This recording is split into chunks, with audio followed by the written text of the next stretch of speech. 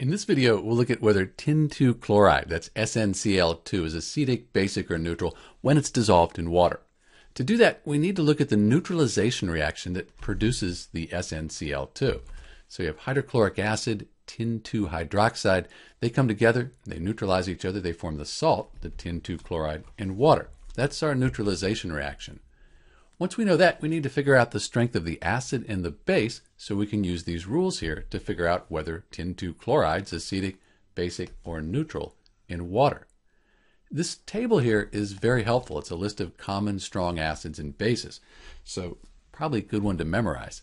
We have HCl, which is right here.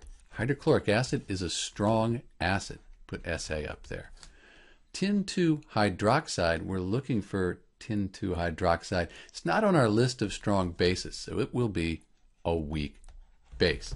So at this point, we know the strength of the acid and base here. Now we can use the rules to figure out if we have an acidic, basic, or neutral solution. Looking at our rules, we're looking for a strong acid, weak base. Here's a strong acid and a strong base. We want a strong acid and a weak base. So according to the rules, the pH should be less than 7.